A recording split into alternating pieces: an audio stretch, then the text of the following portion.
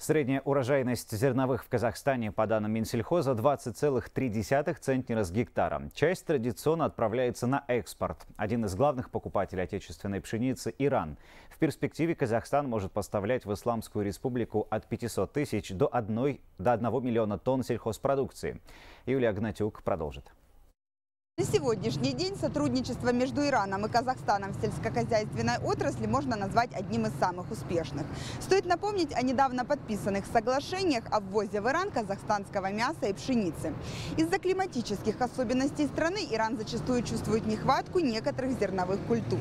Во избежание дефицита страна вынуждена прибегать к помощи своих партнеров, в том числе из Казахстана. Сельское хозяйство – один из трех китов, на котором сегодня держится экономика Ирана. Против аграриев периодически выступают обильная засуха, суровые ураганы, либо того хуже – землетрясения. Все это существенно меняет размер государственного каравая. И это при том, что за последние годы сельхозпроизводительность Ирана увеличилась. От лавирования на грани, кажется, решено отказаться. Культуры, находящиеся в зоне риска, решено закупать у соседей. Так, по крайней мере, иранцы будут застрахованы от полной потери той или иной части урожая. На сегодня из-за рубежа ввозится 7 наименований злаковых культур.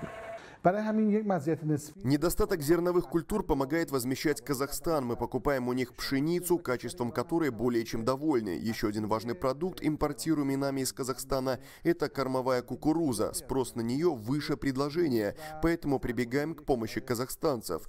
Кроме того, с недавних пор среди иранцев начала пользоваться популярностью казахстанская соя и продукты из нее, поэтому поставки этой культуры также планируется увеличить. Иран способен обеспечить себя сам, но климат климат иногда нам не позволяет этого сделать. Зачем же рисковать, если есть налаженные и проверенные каналы с Казахстаном? Если же не удается побороть климатические капризы, то на выращивание зерна в Иране решено более пристально смотреть с научной точки зрения. Ученые планируют уже в будущем сезоне применять современные технологии в сельском хозяйстве. В лабораториях разрабатываются нанопестициды и наноудобрения. Добавки прошли проверку и могут уже в будущем году опередить прошлые показатели урожайности Ирана. Мы уже широко используем нанодобавки, благодаря материалам с применением нанотехнологий повышается устойчивость растений к погодным условиям, происходит увеличение урожая в два раза, меньше используется воды для поливов, достигается устойчивость к вредителям и заболеваниям растений, а также уменьшается количество сельскохозяйственных отходов. Это происходит благодаря размеру наночастиц, которые лучше проникают в растения. Мы можем стать хорошим партнером для коллег из Казахстана и помочь в применении применении нанотехнологий в сфере сельского хозяйства.